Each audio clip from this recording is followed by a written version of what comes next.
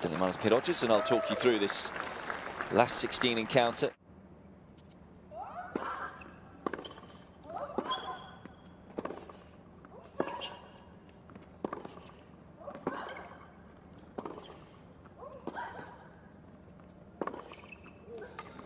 I'm not sure how much Andreescu will know about her opponent today.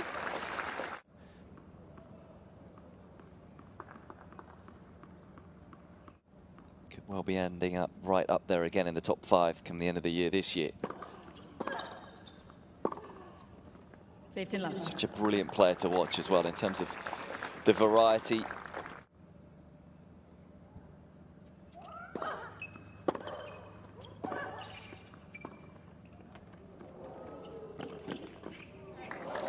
Well, Wood says a little bit of luck, but actually the net court gave Zakharova the chance to get to the ball.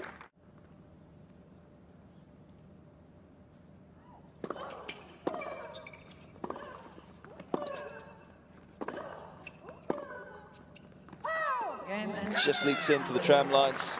And look at that reaction from Andreescu. That shows you how fired up she is, not only for this match, but this tournament.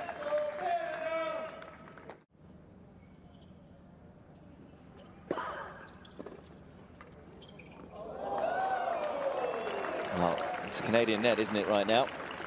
13,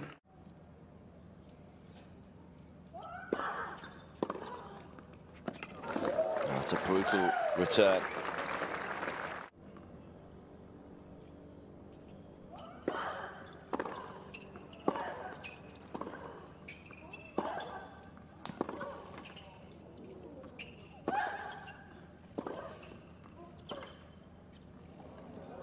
Oh, that is special.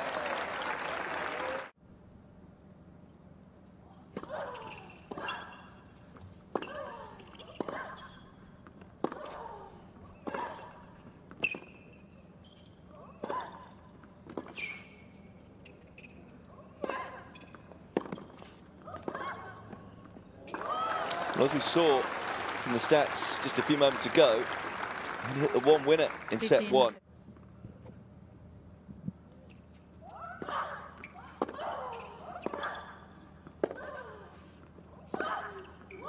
That's just quality ball striking from both players. It's 186 in the world. Either with her attitude or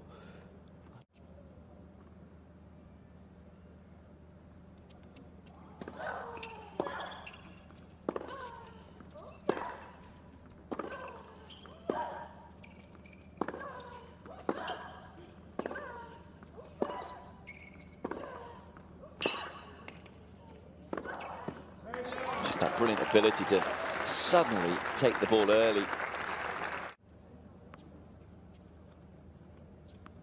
No hesitation.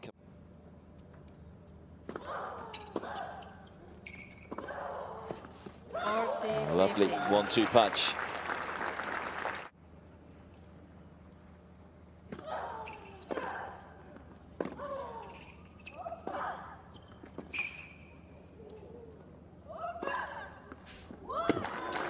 Brilliantly controlled.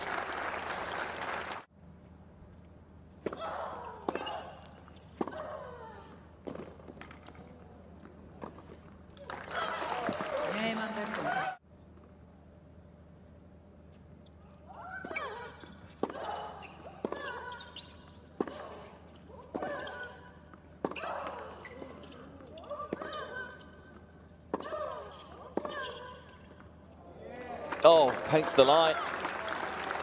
And it's Zakharova who comes out on top of that duel.